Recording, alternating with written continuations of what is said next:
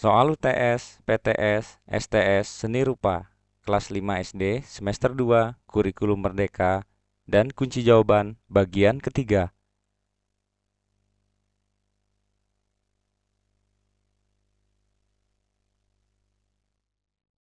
Nomor 1.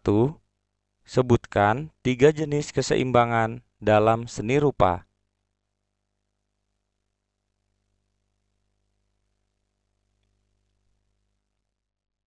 Jawabannya adalah tiga jenis keseimbangan dalam seni rupa yaitu keseimbangan simetris, keseimbangan asimetris, dan keseimbangan radial.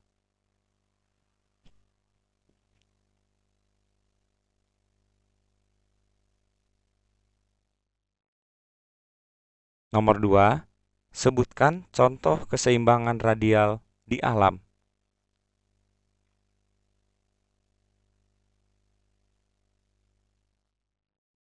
Jawabannya adalah pusaran air dan kelopak bunga.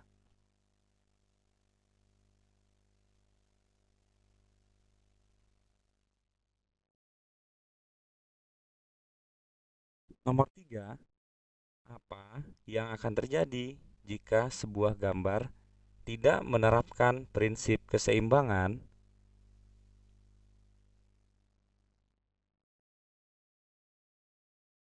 Jawabannya adalah orang yang melihatnya tidak nyaman.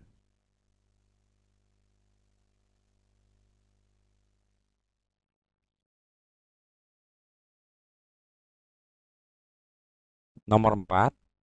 Mengapa menggambar perlu memperhatikan prinsip proporsi?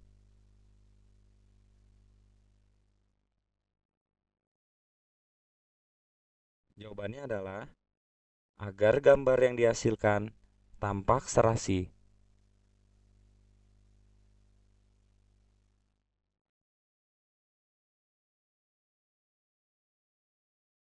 Nomor 5. Sebutkan jenis-jenis ragam hias.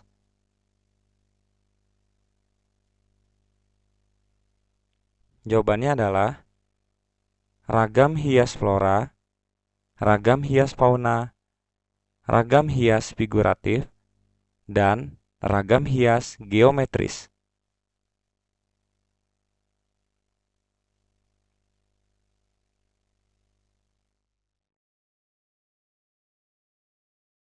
Sekian video kita kali ini.